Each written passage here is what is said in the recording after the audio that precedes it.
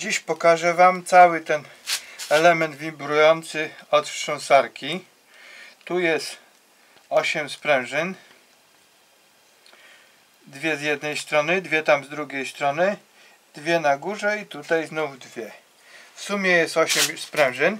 Jak się reguluje tutaj drgania albo wielkość amplitudy. A reguluje się za pomocą tego pokrętła. Tu jest takie dość duże koło o średnicy około 150 mm. Zakłada się tu i albo rozsuwa się te sprężyny, albo zsuwa się je w kierunku środka. I wtedy albo są większe drgania, albo mniejsze amplitudy.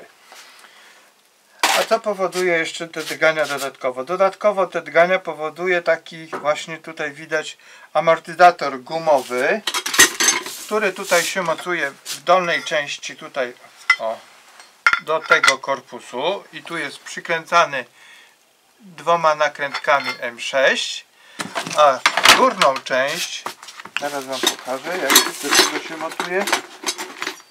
Za pomocą takiej specjalnej śruby najpierw wkręcają się tutaj po zmontowaniu wkręcają się tu w dolną część i to jest zamocowane tu gdzieś na tej wysokości w korpusie i tu dopiero się przykręca nakrętką M8 i z podkładką sprężystą co cały czas drży i pracuje i trzeba tak zrobić, żeby było mocno dokręcony, a nie pozrywane gwinty.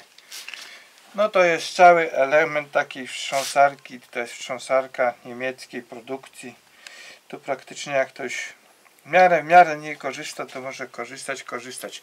Te sprężyny, znaczy najbardziej narażony na uszkodzenia jest właśnie ten element z wielowykpustem. Dziękuję.